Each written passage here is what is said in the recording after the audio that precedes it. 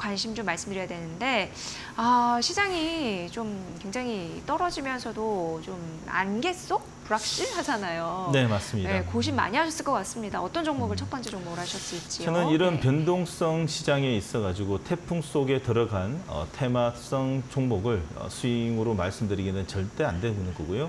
그런 이 테마성 종목들은 여러분들 단기적으로는 단기적으로 소량으로 어, 정신값을 좀 버른다는 생각으로 좀 하셨으면 좋겠고요. 오히려 더 하방에서 더 이상 밀리지 않고 하방 경직에서 나오는 기관과 외국인의 쌍끌이 매수가 자 눈여겨 지는 종목 첫 번째로 에코프로 BM을 좀 이야기 드리도록 하겠습니다. 자 의외죠, 어, 네. 앵커님 지금 2차 전지 쪽 같은 경우에는 대부분 분위기가 안 좋다라고 볼 수 있는데 근데 그래도 한번 오늘은 음. 조금은 선방하는? 네, 맞습니다. 네, 네. 시장 대비 상당하게 선방을 하고 있습니다. 에코프로 BM의 차트를 보시게 되면 지금 현재 18만 원 자리에서 21선과 5일선, 아, 5일선을 딛고 21선을 계속 돌파하려고 합니다.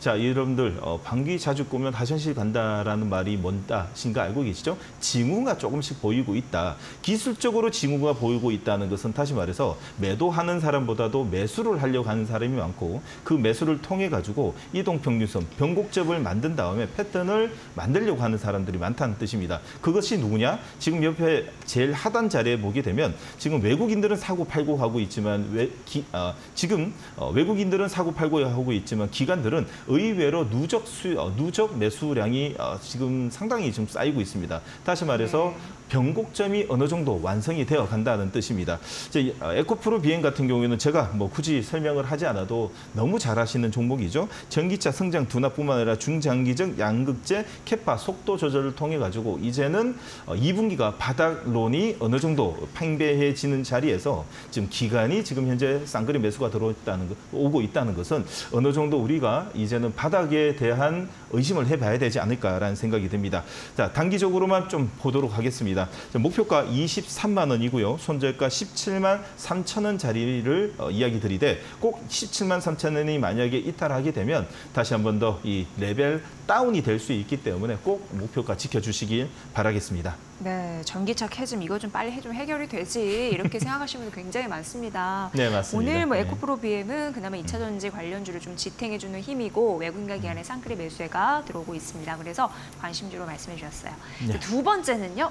자, LG 에너지 솔루션입니다. 또 2차 2차 전지도 전지가. 들어왔습니다. 예, 예. 지금 2차 전지 관련 종목들이 정말 바닥을 좀 만들 잘 만들고 있다라고 볼 수 있는데 LG 에너지 솔루션은 어, 이제 시총이 어, 지금 78조까지 내려왔습니다. 얼마 전까지만 아. 해도 우리 어, 한 120조, 100조를 네, 네. 왔다 갔다 했는데 잔이 쪼그라든 것을 좀 볼 수 있습니다. 자, 기술적으로 먼저 봐드리도록 하겠습니다. 하단 밑에 보시면요. 지금 5일선을 디프, 아, 5일선과 함께 횡보를 하면서 지금 밀집 패턴을 만들고 있는데 이 앞전에는 전혀 나오지 않았었던 모습이 하나 둘씩 나오고 있습니다. 자 그렇다고 해서 이 자리가 완전한 변곡점이라고 말하기는 아직 어, 이릅니다. 자, 이유는 뭐냐? 21선, 61선 돌파와 함께 지금 앞전에 있는 36만 원과 37만 원 자리를 강한 돌파를 통해 가지고 거래량이 실려야 됩니다. 그 실리는 자리가 오히려 더 수익을 낼 수 있는 어, 매수 포인트라고 볼 수 있겠죠. 자 그러나 지금 오늘 같은 이런 급락장에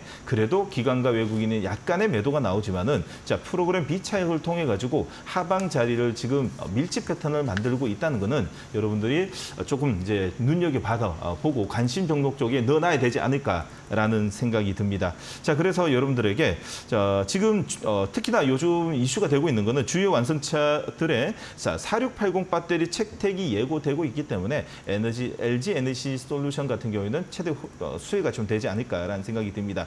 자 아, 짧게 좀 보도록 하겠습니다. 자 목표가는 38만 원 이에요. 손절가 32만 원 제안 드리도록 하겠습니다. 네, 이런 거 보면은 이제 2차 전지가 좀 제발 바닥 딛고 예, 잘 다지고 올라올 수 있으면 좋은 그런 흐름이 아닐까 싶습니다. 예.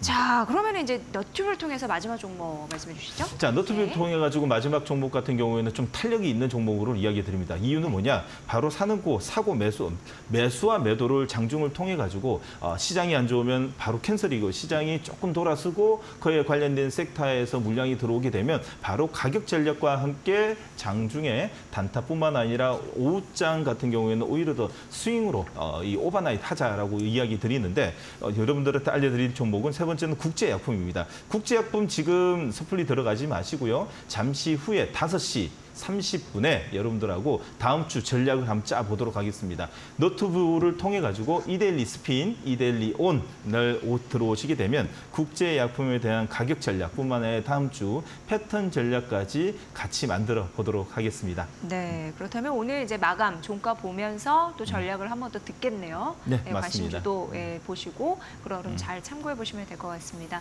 어쨌든 어려운 상황에서도 종목 발굴은 장중에 하는 게더 중요하니까 저희 마켓나우 3부 그런 의미에 좀 의미가 크다라고 볼 수 있겠습니다.